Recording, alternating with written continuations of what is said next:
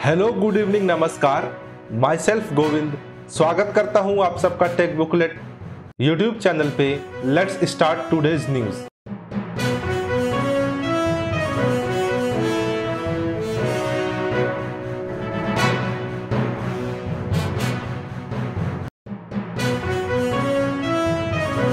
दोस्तों, आज की जो पहली खबर निकल कर रही है, वो निकल कर रही है कोरोना वायरस को लेकर।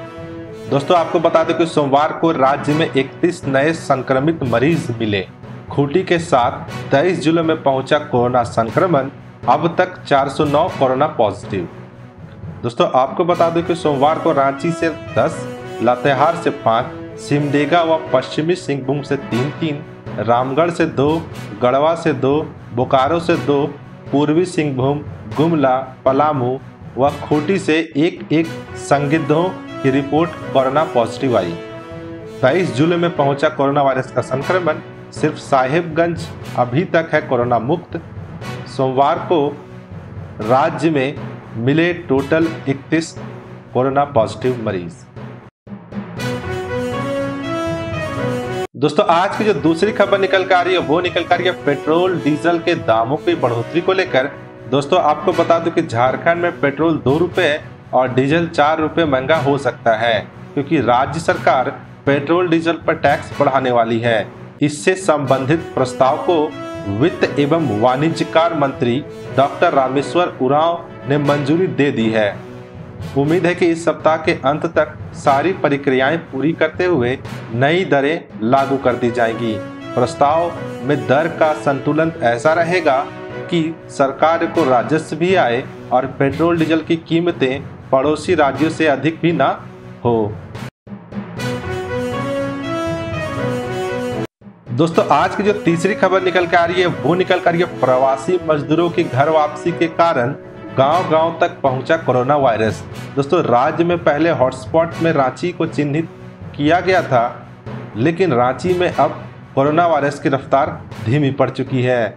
मगर प्रवासी मजदूरों की घर वापसी के साथ ही राज्य में नए हॉटस्पॉट भी बन गए हैं। खास बात यह है कि अब कोरोना का संक्रमण शहरों से निकलकर गाँवों तक पहुँच गया है। गढ़वा, लातेहार, कोडरमा, पूर्वी सिंहभूम जैसे जिलों में मामले काफ़ी तेज़ी से बढ़ रहे हैं। स्थिति यह है कि गढ़वा में हर 100 टेस्ट में 3.5 मरीज़ मिल रहे हैं। यानी यहाँ संक्रमण की संघनता ज़्यादा है, जबकि पूर्वी सिंहभूम में हर तीन दिन में केस दोगुने हो रहे हैं।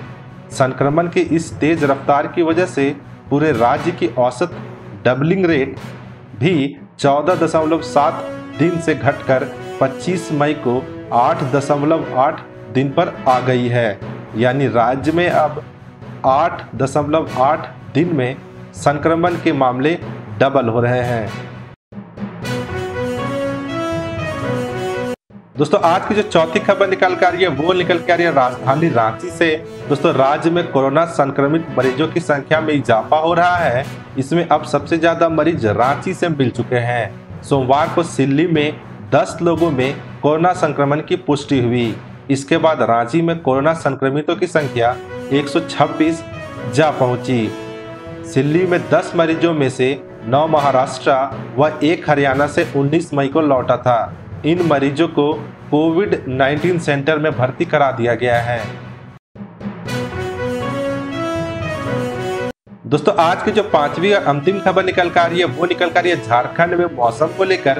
दोस्तों, झारखंड के उत्तर व दक्षिण पूर्वी जिलों में कुछ स्थानों पर 26 मई को गरज के साथ वज्रपात व हल्की बारिश होने की संभावना है।